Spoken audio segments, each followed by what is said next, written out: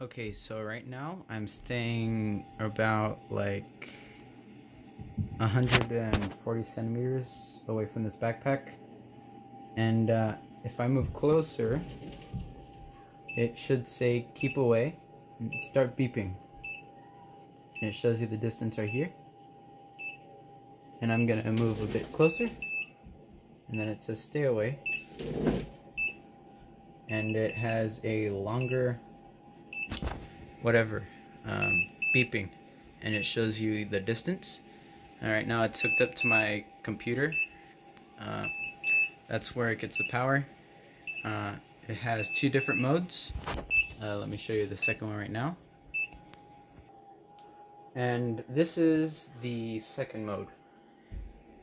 This right here shows you the distance and also the temperature which is pretty accurate I'm moving back and forth. And uh, it shows you the temperature, which isn't entirely accurate. See if I put my finger right very close up to it.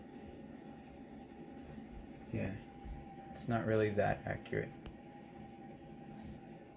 So yeah, that's um, a project that I did using an Arduino. Um, I used an Arduino Uno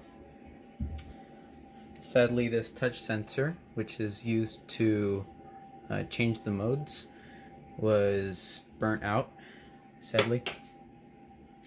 And uh, I'm gonna open this up to show you the beautiful insides of this.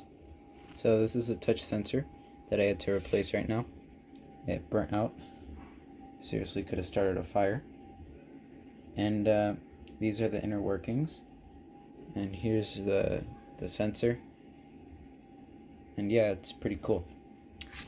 This is what I've been doing um, partly this. Uh, I'm sorry I haven't really been posting anything.